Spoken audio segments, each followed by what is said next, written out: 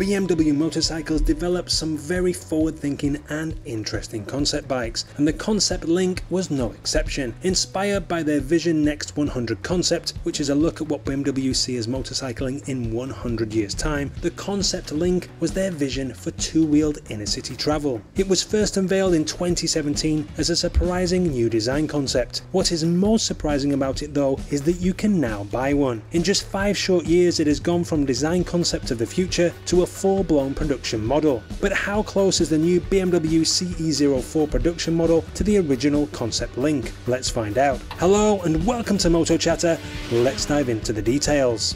The BMW Concept Link was designed with an electric drive, with the batteries and the motor being low down between the wheels. This would mean a lower centre of gravity and better handling. The storage compartment was also low down between the wheels, further keeping the centre of gravity low and allowing for the long floating seat. The storage compartment is accessed by an electronic sliding door which is connected to a movement sensor in the accompanying Concept Link jacket, allowing the rider to open the sliding door with a simple wave of the arm. The subsequent styling of the concept is low and long, making a clean and sleek looking city scooter with solid disc wheels. The design uses the orange of the power cables as a design element with orange accents and the transparent orange wind deflector, which has critical information such as navigation and battery charge projected into it to be clearly in the rider's field of vision. Other information is displayed on a large touchscreen display below it. The Concept Link can connect directly to the rider's calendar via their smartphone and automatically programs the sat-nav for the fastest or most scenic routes. It can also select appropriate music for the journey if the rider wants to. That's the concept, here's the production model. In its design and styling, the production CE04 is amazingly close to the Concept Link. It uses an electric drive as the Concept did, maximum power is 31 kilowatts or 42 horsepower with 62 newton meters or 45.7 pound foot of torque. It will accelerate to 50 kilometers an hour, around 31 miles per hour in 2.6 seconds. There is also an A1 licensed version 2 with 23 kilowatts or 31 horsepower. Both versions have a top speed of 100 120 kilometers an hour, which is around 75 miles per hour. So the CE04 can hop on the highway and isn't just confined to the city. The battery has the same cells as BMW use in some of their iX cars. In the CE04 it is 8.9 kilowatt hours or 60.6 amp hours, which gives the big scooter a range of 130 kilometers, around 81 miles. The A1 version is good for 100 kilometers or around 62 miles. It can be charged from a standard socket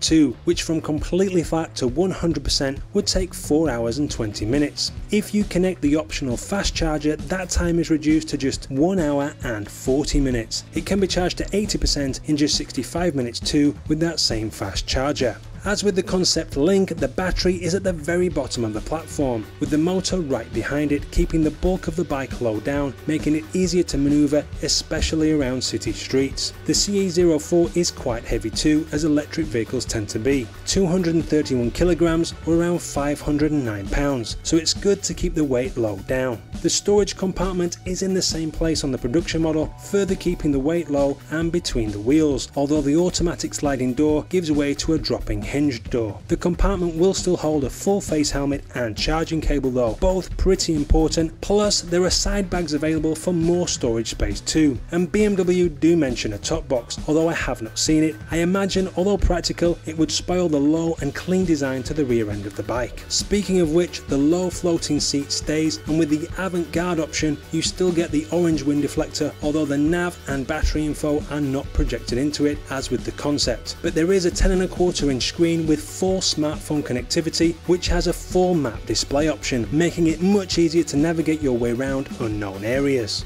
The CE04 actually has a dedicated storage area for your smartphone, which is actively cooled and keeps the phone charged and secured while connected when riding. I still can't quite believe how close the production model is to the Concept Link model. There are some obvious differences like the headlights which have been restyled, but the CE04 does have all-round LED lights and there is an adaptive cornering light option too. The handlebar switchgear has changed and is less futuristic but uses BMW's current navigation disc on the left handlebar. It also has BMW's keyless drive so your keys can stay in your pocket, just hop on and ride.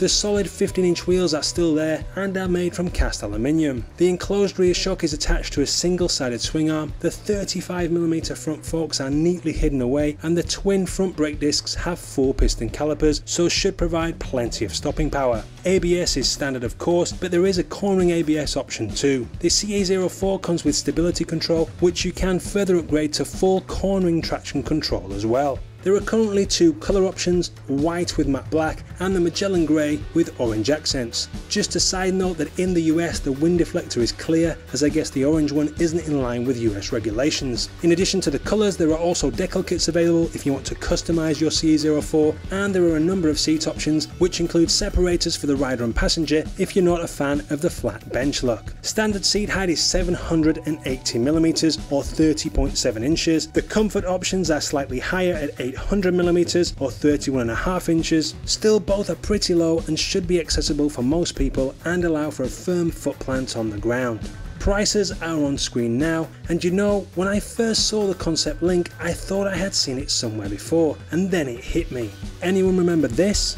Battlestar Galactica's flying motorbike. This really does mean that BMW have an eye on the future. But seriously, it is rare for a production model to be so close to the concept and to go into production in such a short space of time. Remember, the CE04 went from concept to reality in your garage in just 5 years. So fine, this is a city scooter, but what about the big bikes? What does the electric craze and BMW have in store for them? Click on this video to find out, where we take a look at BMW's DC Roadster concept. Could this be the bike you'll be riding in just a few years time? Thumbs up and subscribe subscribe if you like the video. I hope you have a great day and thank you for watching.